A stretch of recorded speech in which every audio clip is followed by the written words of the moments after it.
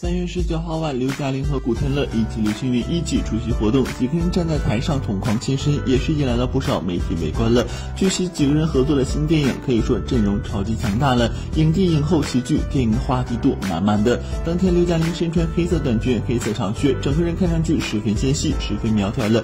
更重要的是，这一次刘嘉玲看上去啊，整个人都是颜值回春的，不见得年纪不仅年轻，同时也变漂亮了。网友们更是盛赞，这样的刘嘉玲简直就是少妇一般了。当天出席活动、前来捧场的还有杨受成以及向华强。可以说，香港知名的电影人和电影大佬们全都到了，简直是巨星云集了。现场，刘嘉玲表示自己非常开心和古天乐以及刘青云两位影帝合作，因为他们都是影帝级的人物，可以学习很多东西。也提前告诉大家，这部电影一定很好看，不会让大家失望的。希望大家多多捧场哦。